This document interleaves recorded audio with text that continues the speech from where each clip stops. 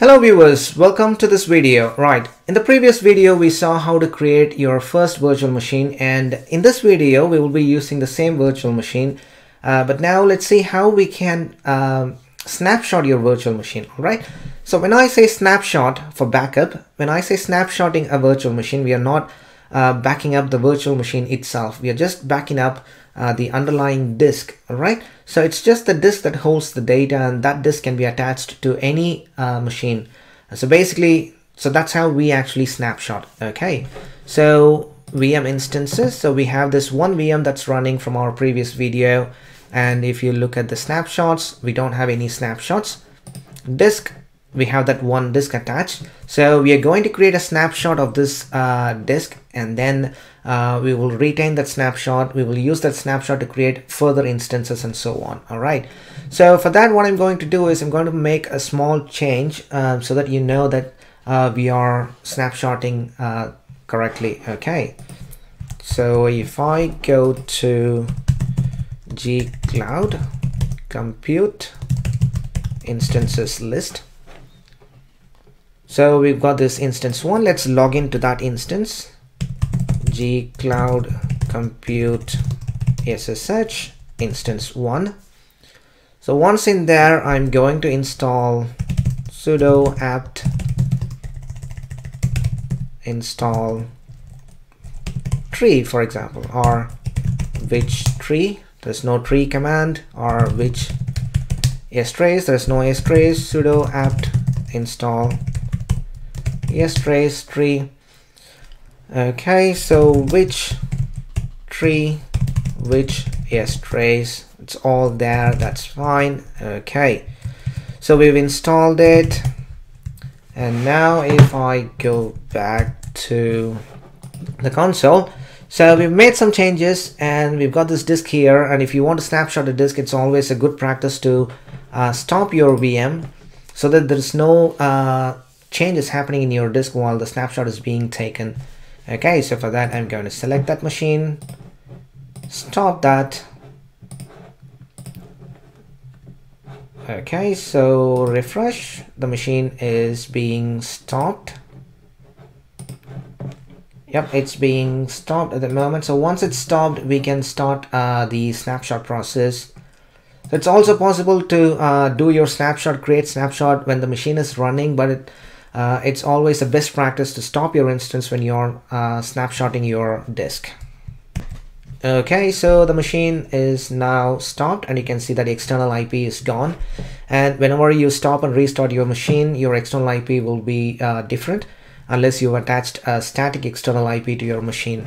Okay, so go to your disk and that's the disk and I'm going to select that disk, create a snapshot so give it a name. So I'm gonna say instance one disk snapshot.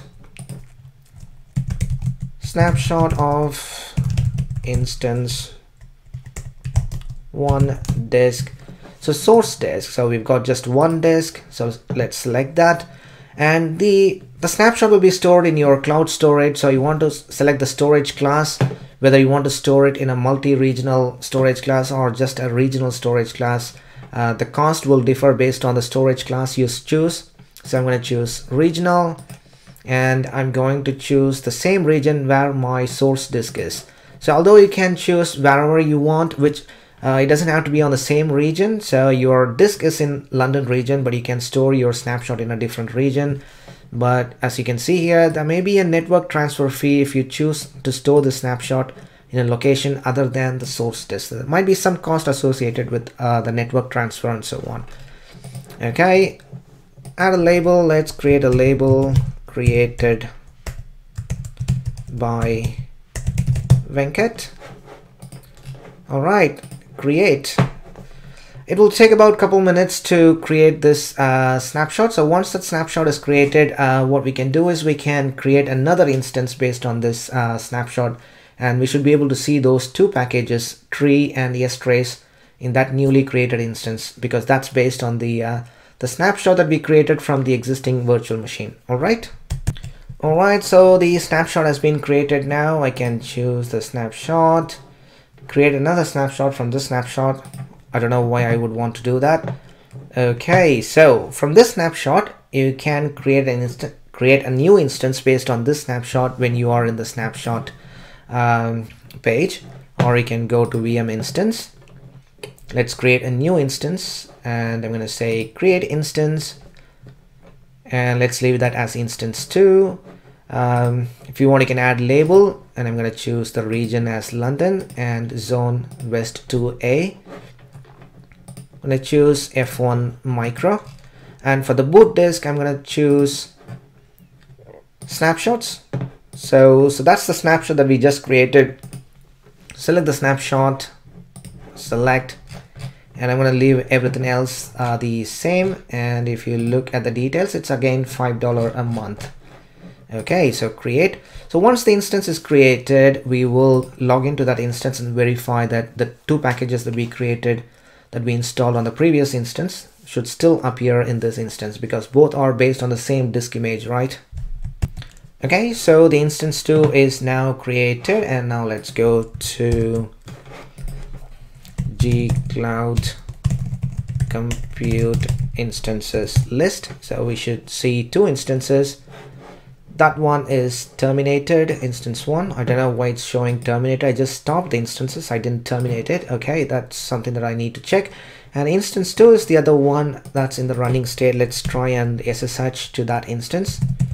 gcloud compute ssh instance 2 it's going to copy the ssh keys to my instance 2 so now we are in instance 2 cat etc os release. I just want to make sure that it's the same image. Yes it's debian version 9 which tree yeah we do have tree which strace okay so now we can confirm it's based on the same disk image. So that's how you uh, create a new snapshot or a new instance from a snapshot that's based on a disk image of another instance okay?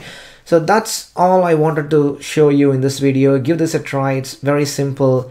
And um, I will see you all in my next video. Bye bye